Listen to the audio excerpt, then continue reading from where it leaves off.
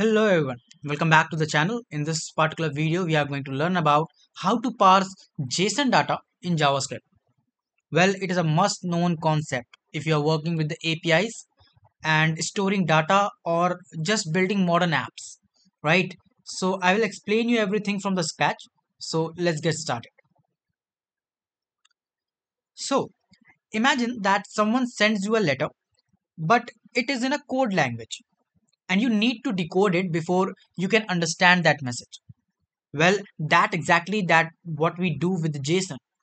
We use json.parse method to decode the data right? So let's say that i'm having const wait wait for a second. Okay let's say that we have const json data equals to and we have some string data right so let's uh, take the data from here. I'm not going to waste time in writing it. Right? So like this. So what do you think that what i'm having? You can see. What is it? Is it an object? No it is not an object. It is a string. You can see it is between the, these annotation mark. Right? And inside of this this thing is the object. But the whole data is in a what is in a string format. Well to convert it and to see the actual object from the particular string you need to use the json parse so for that we write const obj obj equals to json. First you write the json and json should be in capital letter like this right? And then we put dot then we put p-a-r-s-e parse parsing right? And then we put a bracket and inside of this you write the name of the data this data right? This particular variable because it is holding this string which is having a object right? So we will write the json data here right? Like this. Now if you print this particular object then what you will get? Let's see console dot log and put a bracket here and write obj like this. Now if you go to your website and see the console is i'm getting anything? Wait you can see. I'm getting a object now right? Earlier what we were getting? If i print only console.log and if i print only json data right? Then what we will get? We will just get a string here. You can see i can't do anything with it right? But when we do the json.parse then it converted this particular string into this format like this. Now you can use this data. If you want to use this data then like let's say that i want i want obj dot name. I want to see only the name. In that case you can see i'm getting this john. I'm sep i'm able to separate the name right from the particular data right? Like this. If i want obj dot age the particular data i want the age then you can see i'm getting this 30 right? So this is how we parse the data from the json.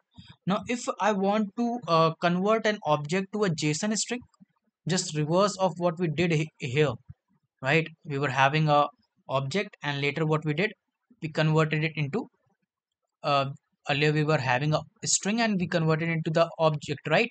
Now if i want to create another uh, data like const user equals to let's create an object here and i say that the name this time i'm creating an object right? Name is uh, let's say piyush comma sorry comma class let's say mm, 3 okay. And let's say the marks is uh, something 45 like this. Right? So this is another data which is in a JSON, uh, JSON format or you can say the object in a particular object right? Now if I want to string it convert the object into a JSON string right? So in that case what we can do we can simply write const JSON string equals to write again the JSON dot dot what? Stringify. Earlier we have written parse now we are doing what? Stringify. Then we put a bracket here and inside the bracket we write the variable that is user right? Which was actually object. Now we are converting this particular object into a string. If you print this again let's first print the user and then let's print json string. Now you can see. What we have created? We have created an object which was looking like this right? And after doing the stringify converted into a string we get this particular string. Earlier that we were converting this now we are making this right? So this is how you can do this.